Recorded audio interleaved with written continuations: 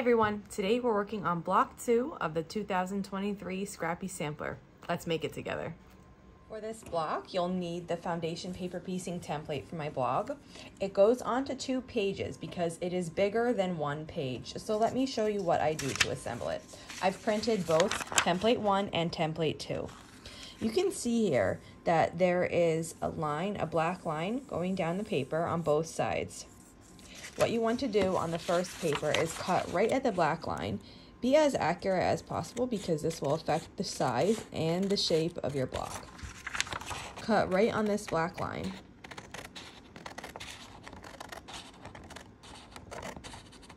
Once you have it cut off, what you're going to do is take the second page and you're going to match up the first page right to the black line on the second page and it will make the, a perfect block.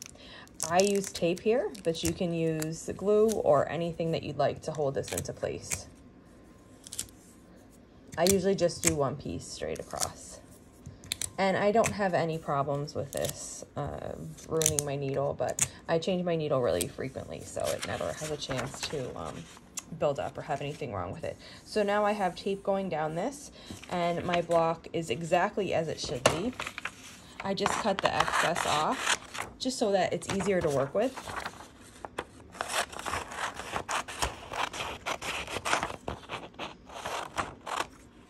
And then we're going to start adding pieces. In case you haven't done foundation paper piecing before, let me just give you uh, a little explanation of it. The first step in foundation paper piecing is to look at your paper. You're actually going to be sewing your block right to this paper. Everywhere there is a dark black line, that's where your stitch lines are going to be. The piece you can see is numbered with numbers in at each uh, little log. And what it is, is you're going to follow them in order. So this is A1, my middle is A2, and A3. Then you're going to follow the numbers to add A4, a5, A6, A7, and you're just going to keep going in numerical order and adding pieces. When you're sewing this, you're actually sewing it to the other side of the paper with your good fabric facing up. It's a little bit tricky to get a hang of it if this is your first time, but don't give up. This is a really rewarding, fun style of sewing, and once you conquer it, you can do so many fun things that you can't do with traditional patchwork. Let's start adding the pieces. Very often, foundation paper piecing patterns don't give you directions on cutting out your fabric. And the reason is because the person who, whatever pattern you're looking at, they're letting you decide how much fabric you want to have around. So for this pattern, this is a beginner one. We're using squares and rectangles. It's very straightforward on how you're going to be moving the pieces of fabric. When you're getting to more difficult pieces with lots of triangles and different shapes, um, you need to be comfortable with um, deciding how much fabric you want to have extra around it as giving you a buffer for when you flip it. Now, this will make more sense when you see me, but I just want to give you this explanation first. So if you want to know exactly how much fabric to cut out or just a roundabout, you use your ruler and the minimum that you can have, say I'm working on this centerpiece, A2, the minimum that you can have is a quarter inch passed on every side. So that would be like three and a quarter for this center square. That's the minimum. But oftentimes, when you're working with foundation paper piecing patterns, you want to give yourself just a little bit more room, especially if they're more difficult. Now, this one's not not as difficult again because I said it's just squares and rectangles, but um, oftentimes you want to do a half of an inch of a buffer space. So in that case, you'd want to cut a three and a half inch square for this center one. So then you just like continue doing this for all these other logs, deciding if you want to have a quarter of an inch of buffer room and seam allowance or a half of an inch with a little bit of extra buffer room and your seam allowance. So if I'm measuring A1 here, I'm going to line up the top and the right side with my quarter inch, if that's what I decide, if I decide to do a quarter of an inch. And I'm going to see about that what comes out to. So that would be like one and a quarter by three and a quarter if you were doing a quarter of an inch extra. If you're doing an inch, uh, a half of an inch extra, that would be more like three and a half by one and a half for each of these logs. And now I'll show you how to start piecing it. So I decided to give myself a half of an inch of buffer room on each side of the pieces of this block. And now I'll show you how I put it together. So I have everything cut out. My first piece is this square.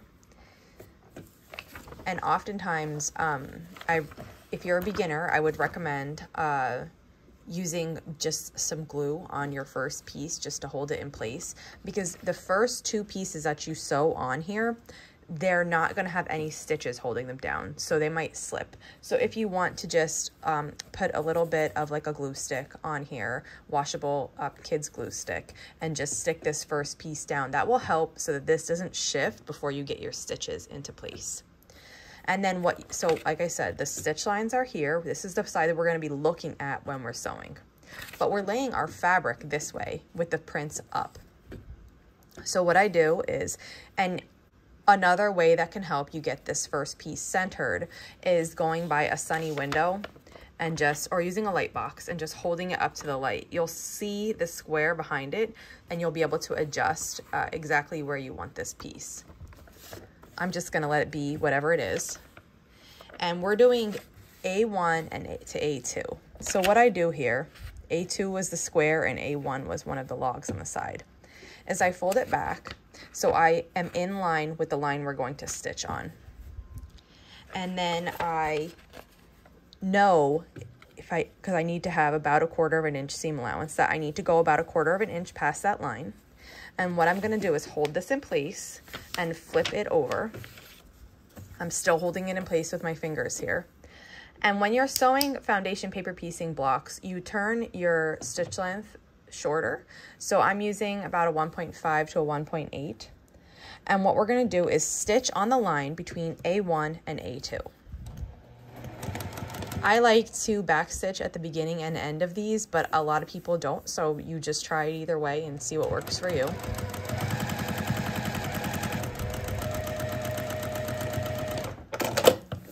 Okay, so you'll see here that I've sewn on this line between A1 and A2.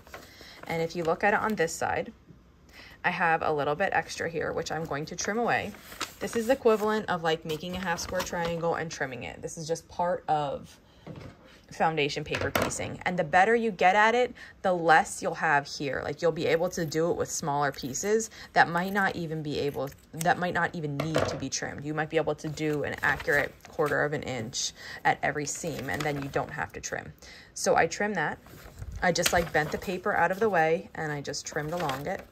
And now I'm going to just finger press this open so you can see. Now what I need this piece to do is I need it to go beyond this line right here and beyond these two lines because I need to have my seam allowance built in there. And it does, so we're good to go.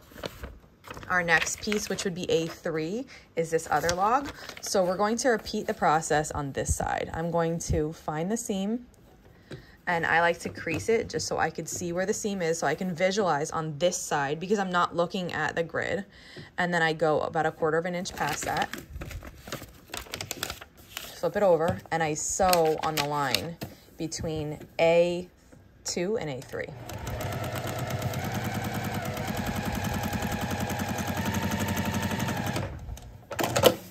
Okay, so you can see here, and these little threads, like you can just, they're fine, or you can trim them. They will probably end up getting in your way if you don't trim every single one, but you can leave them if you want. Okay, then when we flip it over, we're looking at the same thing as the last step. I'm going to fold the paper back and trim this to be about a quarter of an inch seam allowance. And once I have that trimmed, I'll just take a finger press and just make sure I'm passing, uh, let me hold it up so you can see with the light. I wanna make sure that I'm passing this line and this bottom line and this top line, which I do. You can see that I go past those a quarter of an inch on each side. So this is perfectly oriented the next step will be to do A4 and then A5, which you can see on my pattern here. The dark is the color and the white is the background. So I just did three color pieces and now I'm going to work on A4 and A5 and those are background. Now, if you wanted, you could use a little glue to help you tack this into place, I'll do that so you can see. I just use these washable kids glue sticks. If you are doing it, you want to make sure that you're just gluing in the portion, um, like not the seam allowance, only in like the little block area. So I'm just going to put a little line right where my fabric will go and then just press it open and um, go ahead. And then I'm gonna repeat that over here just to help. And as you get better at foundation paper piecing, I would say you won't need the glue as much, but in the beginning, it definitely helps. Like it's like an extra hand holding these down in place so that you don't have to worry. So A4 is on this side. I'm going to fold this back so that I see the line between um, the center and A4. And I'm going to get my next piece, which I think I still need to trim a little bit. I cut um, one and a half inch strips, so I still need to trim this a little bit. I'm just gonna cut that off. And I'll take this piece and I'll put it about a quarter of an inch past my fold, flip it over, and sew on the line here between A2 and A4.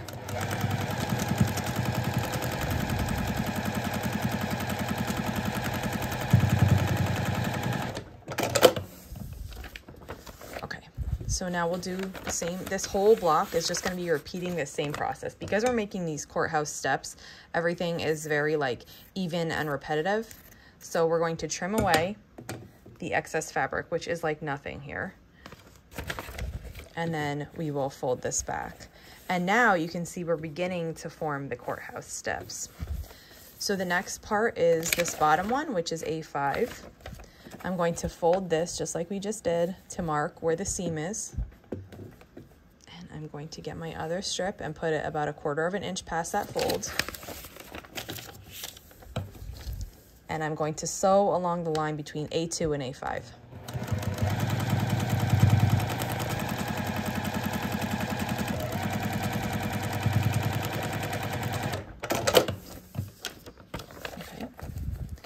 Fold the paper back and trim away.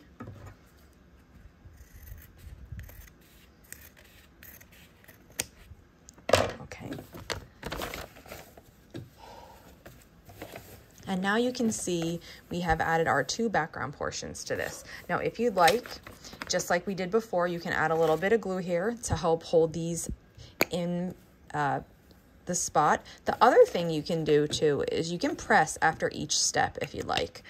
You'll still maybe need the glue in the beginning to just help your hands. Uh, but if you press this in between each step, it could it would help it stay fully uh, open and not close on you when you flip over the paper. Let me get a little glue for this side just to show you. And we're going to keep for this block going back and forth between colored portions and white portions until our whole block is made. So the next step is going to be add two color portions. So they're right here, A6 and A7, and I'll work on that now.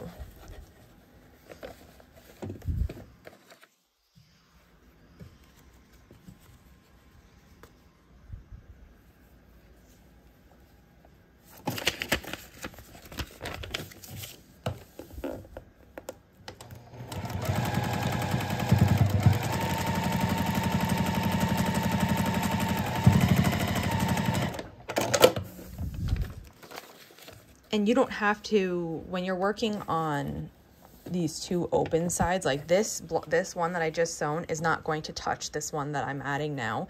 So I'm not trimming. You don't need to trim or press in between these two because they're not touching. If you are pressing you, you'll trim between the colored portions and the white portions because those are actually going to be touching each other in this block.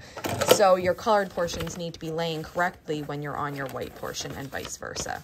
But now that I added both of those, I'm gonna come in here and trim this to a quarter of an inch.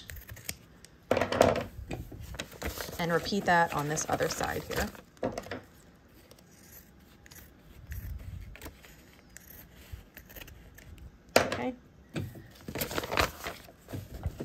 Then with these open, you will now add your next background piece.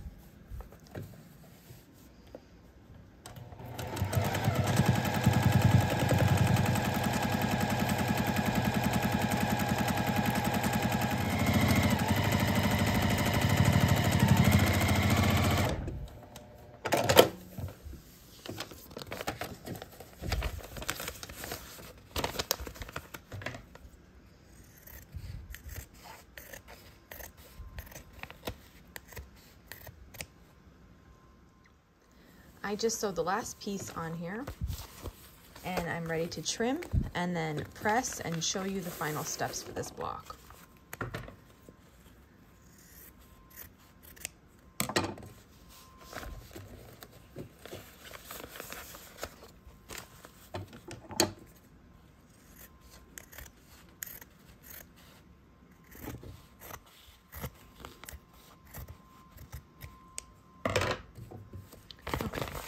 And after you have your last two put on, the next step is going to be to press this. So let's go over to the iron and press. After you've finished your last two ones, you're going to come over, set the seams, and press them so that they're laying nice and flat. And repeat that on the other side.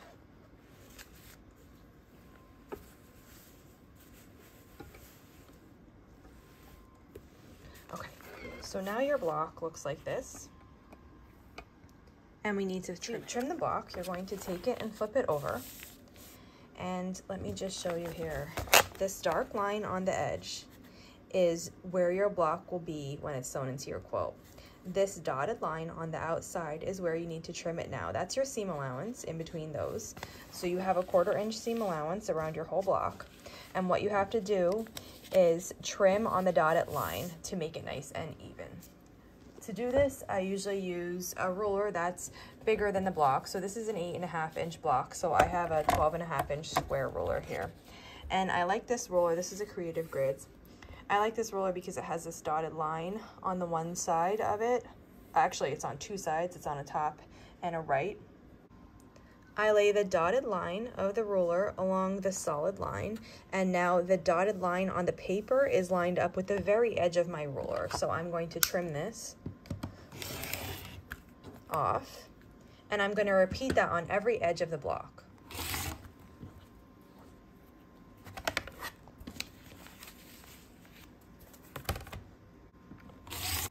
And now the block is trimmed to the exact size that you need it to be. The final step here is removing the papers. To remove these papers, I work from the outside in. So the first one I'm going to take off is the one that is the whole length of the block. You're gonna have one of these on each side. I fold it on the line that we sewed and I'm just gonna rip it just as if it was like perforated paper. It'll mostly come off easy. Sometimes you'll have these little stragglers you'll have to go in. If you have a really hard spot, and again, this is a simple block, but if you have a really hard spot, tweezers work good for getting the paper out. After I have the outer two ripped off, I'm going to move to the next longest one, which is A15 and A14.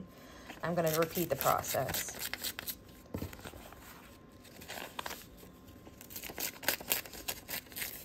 And I will keep working my way to the center of this block.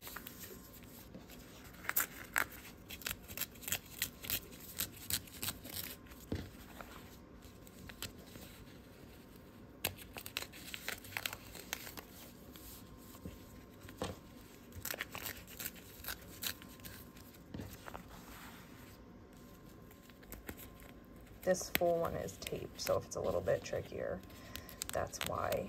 There we go, almost no big, no big deal. And our last piece then, we should just be able to like lift right out. Make sure there's nothing stuck that you wanna take, any like long threads you can trim away. These little bits, if you see a little bit stuck in your seam allowance, like right here, you could get tweezers if you wanted to get those out, but they come out pretty easy with like just some moving of your fingers. So that's the back of the block. And here is the front of the block. It looks really good. So I hope I cleared up the, you know, mystery of foundation paper piecing if you've never done that method before. And um, if you practice it, you'll see that this is a really fun skill to have in your quilting belt. That wraps it up for today and block two. I hope you had fun making this block and I'll be back again tomorrow with block three.